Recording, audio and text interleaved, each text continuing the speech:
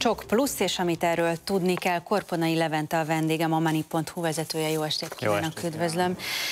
Mindenki nagy érdeklődéssel figyelte a bejelentés utáni időszakot, hogy a részletek kiderüljenek, hatalmas az érdeklődés.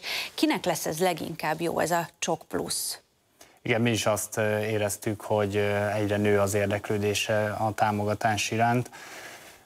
A Csok plusz elsősorban azoknak a családoknak lesz nagy segítség, azoknak a házaspároknak, akik még szeretnének további gyermekeket vállalni, és, és emellett pedig nyilván ingatlant szeretnének vásárolni.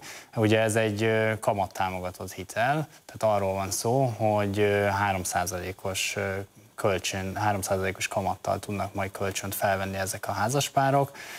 Attól függően, hogy hány gyermeket igényelnek, 15-30 vagy 50 millió forintnyi hitelösszeget tudnak igénybe venni.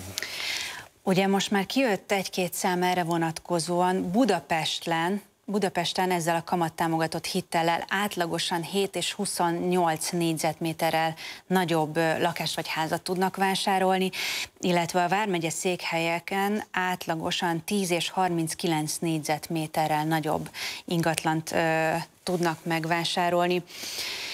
Azt már korábban is kritikaként fogalmazták meg, hogy a csoknál, vagy jelen esetben a csok plusznál az ingatlan piac egész egyszerűen gyorsan reagál, és változnak, gyorsan változnak az árak, és az előzetes számítások miatt sokkal nagyobb a kereslet, ami felhajtó erővel bír az árakat tekintve. Most is lehet erre számítani?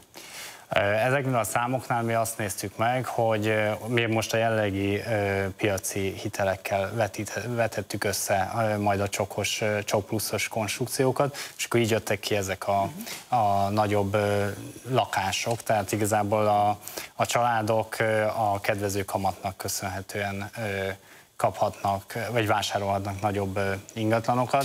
Én úgy gondolom, hogy az ingatlan piacot és az ingatlan árakat nagyon sok tényező befolyásolja. A korábbi csok plusznál, illetve a korábbi csoknál ugye volt két részből állt a korábbi csok, egy kamattámogatott hitelből és egy, és egy visszanemtérítendő támogatásból. Ugye ez még idén év végéig elérhető továbbra is, és ezt váltja majd a csok plusz. Ezzel szemben a csok pluszban szintén van egy támogatási tétel, de ugye az nem előre meghatározott, hanem majd csak később lép életbe, amint megszületik a második vagy a harmadik gyerek, akkor 10-10 millió forintot ugye jóváírnak a, a visszafizetendő törlesztőből.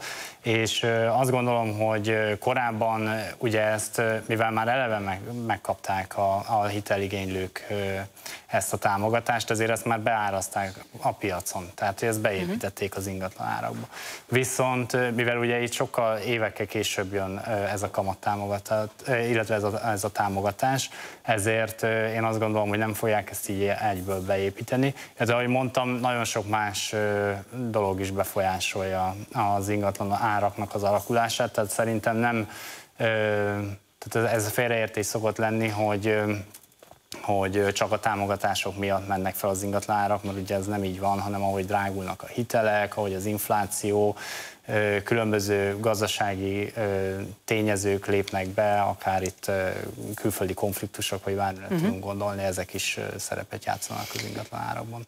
Mit gondol az olyan politikai megnyilatkozásokról, kritikákról, amelyek arról szólnak, hogy ez a csok plusz, ez lényegében kevés embert, egy kis szűk réteget érint, és emiatt viszont nem lesz hatással az emberekre, hiszen nem valódi segítség, ugyanakkor az ingatlan piacra meg rossz hatással lehet, amit az imént is beszéltünk, hogy akár felhajtó erővel is bírhat. Én azt gondolom, hogy hogy van az a réteg, akinek ez nagy segítség tud lenni, hiszen hogy csak a, az elérhető hitelösszeget és a támogatás mértékét megnézzük, hogyha ö, akár egy babavárót, egy, egy, ezt a csok plusz, és akár még a falusi csokot is hozzáadjuk, akkor ez összesen 43, 46 millió forintnyi visszanemtérítendő támogatást jelent, ami ö, igazából minden családnak elérhető, aki hajlandó ö, három további gyermeket vállalni. Ö, azt ö, láttuk mi is, hogy a, a csok, csokot azt jellemzően a meglévő gyerekekre vették fel, tehát így még mindig vannak családok, akik, a, akik még, még teljesen tudnak élni ezzel az új támogatással. Azt gondolja, hogy ez a gyermekvállalás szempontjából egy ösztönző eszköz? Tehát Én ez most gond... lehet egy olyan eszköz, amelyre azt mondják, hogy igen, akkor vállalok még egy gyermeket? Vagy Én azt gondolom, hogy igen, hiszen ha megnézzük a támogatás összegét, akkor, akkor ez, ez tekintélyes mértékű, illetve nem is titkolt célja ez magának ennek a konstrukciónak, hogy ösztönözzék a, a további gyermekvállalást a családokban. Hitelek kapcsán mindenki fél, hogy bár megvan a fix kamat, de hát láttunk itt már ö, gazdasági világválságot. Mennyire vannak kőbevésve ezek a számok, amelyeket az, az érdeklődők is megismerhetnek, meg most már ugye mindenhol le vannak írva, törlesztő részletet tekintve? Azt kell igazából figyelembe venni, hogy mi fog szerepelni a hitelszerződésben. Tehát, hogy nyilván ezek előzetes kalkulációk, teljesen élethelyzettől függ, hogy hogy kinek milyen kamatokat fog aztán a bankkal tudni megállapodni. Azt kell figyelembe venni, hogy mi van beleírva a szerződésbe. Ugye arra is érdemes figyelni, hogy hány évig van fixálva a kamatszint, hol jár le ez a kamatperiódus, és mikor fog megújulni. Ez az egyik tényező, amit érdemes még a hitelfelvétel előtt mérlegelni. A másik pedig az, hogy én azt mindig el szoktam mondani, hogy ugye hitelkiváltásra lehetőség van. Tehát ez, ez, ez, egy, ez egy lehetőség azoknak, akik esetleg most akár egy drágább hitelt vesznek fel, mert olyan élethelyzetben vannak, hogy szeretnének ingatlant, vagy szükségük van ingatlanvásárlásra. Később, ha lemennek a kamatok, akkor igazából, mint egy új hitel felvételét, ki tudják váltani a régit, és akkor egy olcsóbra le tudják cserélni. Tehát ebben is érdemes gondolkodni. Korponai Levente, köszönöm szépen. Köszönöm szépen a lehetőséget.